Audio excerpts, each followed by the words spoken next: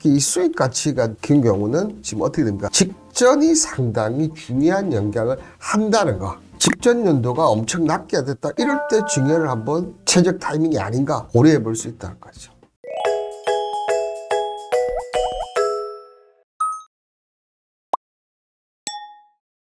퇴근길에 편안하게 들으시면 투자에 보는 눈이 달라지실 겁니다. 자, 여러분의 평생 투자 교육원 오늘의 이 투자 캠퍼스의 투자 컨설팅은 어떤 부분이냐 하면요. 바로 비상장 주수의 증여 관련해서 질문이 있었고 여기 관련해서 제가 알뜰티까지 드릴 예정입니다. 자, 어디서나 볼 수 없는 이 투자 컨설팅 지금부터 바로 시작하도록 하겠습니다. 자, 오늘 이 질문자를 보면 비상장 주시고 자본금이 100만 원. 개인적으로 봤을 때는 뭐 개인 사업자에서 이제 아마 조금 어떻게 넓혀가는 법인 사업자로 전환하는 과정이 아닌가 그렇게 좀 보이시고요. 처와 주식의 일부 주식을 양도하게 된다. 아무래도 법인 주식은 100% 갖고 있는 것보다는 한 51% 갖고 있는 게 효과가 좋습니다. 자, 그런 부분에서 좀 증여를 하시려고 하시는 것 같아요. 질문 보시면 자 계약서 주주 명부만 수정한 후 홈택스 증여 신규를 하면 되나요? 아니면 법무사를 통해서 주주 명부와 또 다른 것들을 수정 신고해서 증여 신고를 해야 하나요? 이렇게 얘기를 했고요. 자 그리고 질문 2는 보면 지금 12월에 증여를 하고 싶은데 내년 1월에 신고해도 되나요? 이렇게 했습니다. 즉 날짜는 12월에 해두고 홈택스 등 증여 신고는 1월에 해두나요? 이렇게 했고 세 번째는 질문 이번에 1월에 해도 상관없다면 법무사를 통해서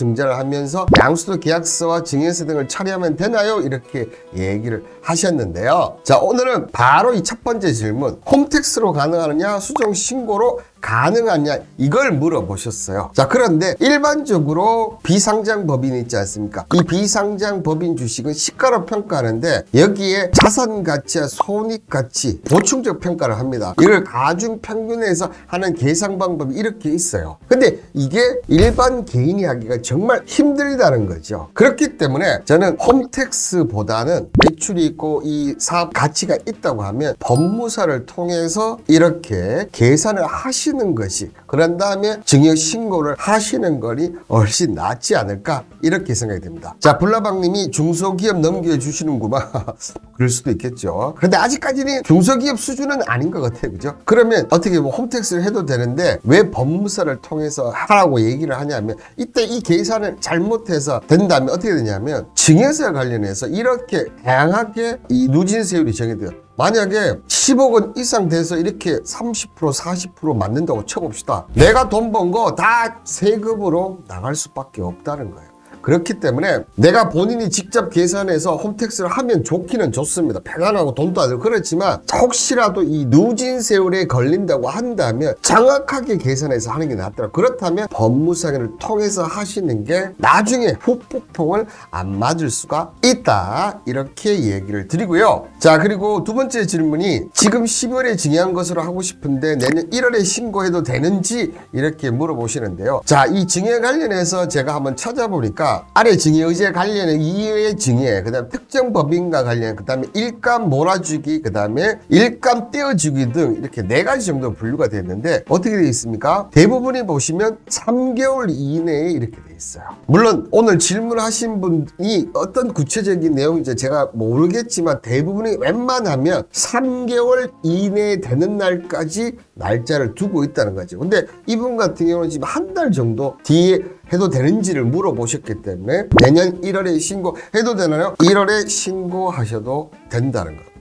자 그리고 만약에 아, 법무사를 통해 증전하면서 양수도 계약 증여 처리해도 될까요? 자 이번 질문에 1월에 해도 상관이 없다면 하는데 자 당연히 저는 앞서도 얘기 드리지만 법무사를 통해서 하라. 비상장 경우에는 신주 발행이든 구주 매각 방식이든 유상 증자를 하는 경우 증자를 하는 비상장 주식의 가치 평가를 해야 된다. 이 가치 평가 때문에 해야 된다는 거예요 그래서 꼭 법무사를 통해서 저는 하시라. 물론 매출이나 이런 게 전혀 없다면 그냥 본인이 직접 하셔도 돼요. 근데 그게 아니라면 꼭 저는 법무사를 통해 하라 이렇게 얘기를 좀 드리겠고요. 그렇다면 제가 오늘 이 질문자의 답변을 제가 다 드렸는데 이 관련해서 비상장 증여 관련해서 제가 몇 가지 알뜰 팁을 좀 드린다면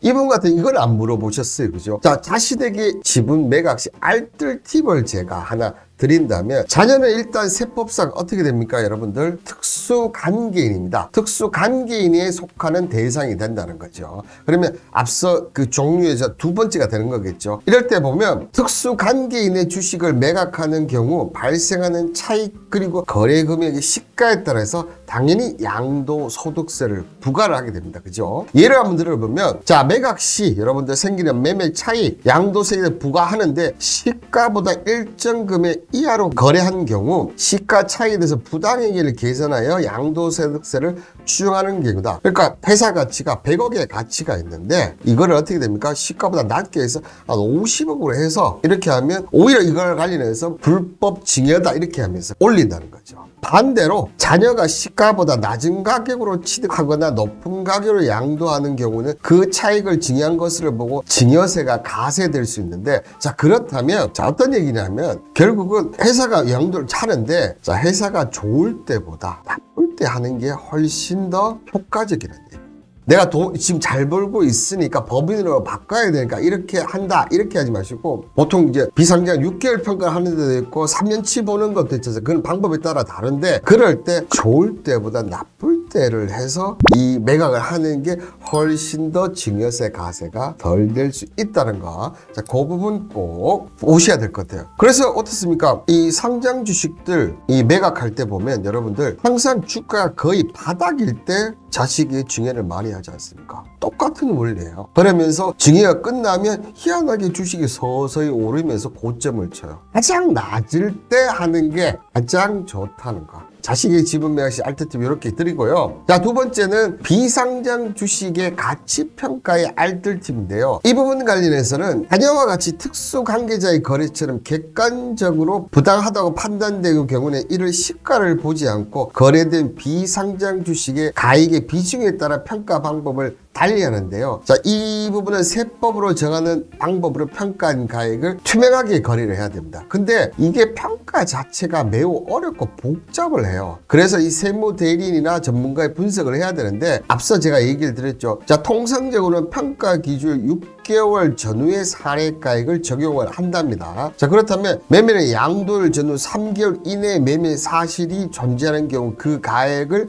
시가에 인정한다. 그러니까 이 평가일 기준 6개월 사례 가액을 조금 잘 보시고 자 매매는 이 양도일 전후 3개월의 매매 사례 존재하는 경우 그 거래 가액을 시가로 인정한다. 요 사실을 알고 계신다면 이 가치 평가를 하는데 도움이 되시지 않을까 생각이 듭니다. 버진 아일랜드에 페이퍼 컴퍼니 하나 세우고 그쪽으로 매각하세요. 그것도 쉽지 않습니다. 요즘 워낙 국세청도 그런 걸 다양한 방법으로 알기 때문에 참 쉽지가 않다는 거. 버진 아일랜드에 양도하다가 조사받게 될 수도 네, 충분히 무명님 얘기처럼 그렇게 될 수도 있다는 거. 자 그리고 세 번째는 뭡니까? 자녀에게 지분 증여 최적의 타이밍 비슷비슷한 얘기이긴 하지만 자 근데 최적의 타이밍을 꼭 집어 제가 말하기는 쉽지가 않아요. 자 그런데 자 상장 주식의 경우는 사업 연도가 바뀌면 배당락 정도의 주가가 변동할 수 있지만 비상장의 경우는 사업연도가 변경되면 평 가액의 차익이 커질 수밖에 없기 때문에 법인의 예상 수익을 잘 판단하여 지분 이동 시기를 조율해야 되는데요. 재무 상태를 기준으로 하는 자산 가치는 시가에 따라서 차이가 미미한 반면 이 수익 가치 있지 않습니까? 이 수익 가치는 최근 3년간 수익 흐름 중 직전 3년대 손수익이 증대한 영향을 미치므로 섣부른 지분 이동보다는 세무 대련과 조문하는 게 맞는데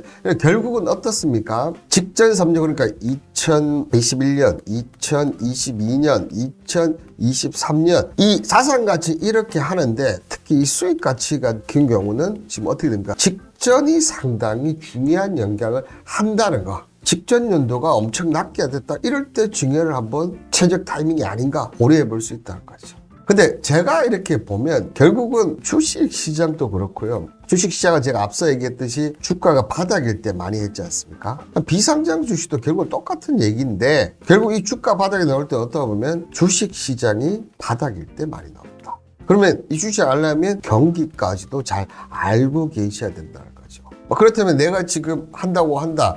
지금 앞서 세 개 했던 요건이 지금 다 나온다. 그럼 제 방송을 보신 분들은 아실 거지 않겠습니까? 내년 상반기에 지금 이 리스크가 상당히 있다는 거지 않습니까? 금리 인하 직전에 항상 주가가 어떻게 됐다? 나스닥도 그렇고 국내 주식도 급락을 했다. 그러면 이 타이밍을 한번 노려보시면 좋지 않을까. 이렇게 좀 생각이 들고요. 자, 그리고 이 알뜰팁 마지막으로 보시면 가업승계 목적 증여 알뜰팁. 이 어떻게 보면 기업 상속 공제와 이 가업승계에 대한 증여세의 가세 특례를 명확하게 먼저 구분을 하셔야 될 것 같은데요. 자, 원칙적으로 10년 이내 피상속인이 상속인에게 증여한 재산은 상속세 가세가액에 삽입하는 반면 앞서 설명한 증여서 가세 특례가 적용된 주식은 증여기간 상관없이 상속세 가세가액이 항상 삽입하여 상속세를 다시 정산하게 됩니다. 가업승계에 대한 증여세 가세 특례 제도는 법정 요건이 해당하는 중소기업 주식을 생전에 100억 원 한도로 증여하는 경우 5억 원을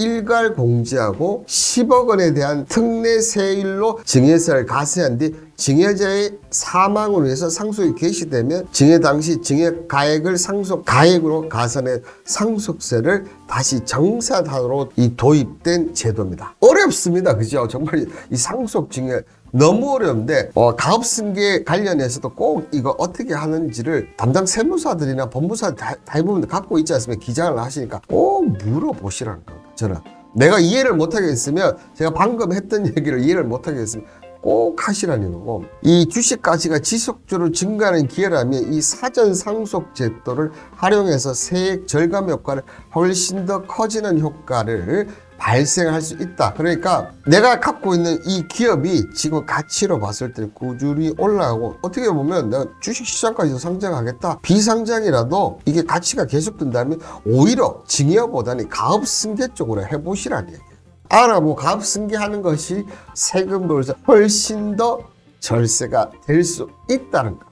아시겠죠, 그죠? 오늘 이 비상장 주식 관련해서 이 투자 컨설팅을 좀 해드렸는데, 뭐 질문제 답변은 제가 완벽하게 해드렸고, 알뜰팁 4개까지 드렸는데 상당히 어려운 부분이 있고요. 제가 주변에서 이런 부분들을 상당히 많아서 최근에도 보면 한번 그 아버님이 한 재산이 한 그래도 한 30억 정도 갖고 계셨는데, 이분이 갑자기 예, 췌장암에 하셨거든요. 근데 이게 너무나 빨리 이렇게 3개월 만에 돌아가시다 보니까 이 관련해서 특히 이분이 그 재혼 가정이었었거든요. 그러니까 이 당시에 계약서를 씀에도 불구하고 어떻게 되냐면 와이프분에게 거의 모든 50% 돈이 가게 돼 버렸어요. 그렇기 때문에 이 상속이라든지 이 증여 관련해서 미리 준비해 놓고 있지 않는다면 본인이 원하는 방식과 다른 방식 아니면 또한 이 세금 부분을 엄청나게 폭탄을 맞을 수 있다는 사실 좀 꼭 기억하시고 그 기준이 어떻게 보면 이 30억, 이 30억이 넘는 분들은 꼭 이 비상장 주식 관련해서 상속 증여 꼭 아시라 이렇게 얘기를 드리도록 하겠습니다. 기영님이 오 상장까지 염두할 정도 그렇다는 얘기고요. 자, 무명의 30억 부고는 안타깝지만 상속액은 부럽다. 그렇죠. 여러분들 돈 많아도 죽는 거는 제가 볼때 언제 돌아갈지 모릅니다. 그러니까 항상 건강하게 웃고 밝게 이렇게 사는 게 맞지 않나 그렇게 얘기를 드리면서 오늘 영상 이것을 마치도록 하겠습니다. 자, 오늘 하루도 수고하셨고 여러분의 투자 도움이 투자 캠퍼스 홍반장은 내일 또 오후 5시에 내일은 또 오늘은 HMM을 얘기 해운앱을 얘기 드렸다면 내일은 자동차에 관련해서 좀 언급 드릴까 합니다. 자, 내일 또 따끈따끈한 소식 기다려 주시길 바라겠습니다. 여러분들 안녕!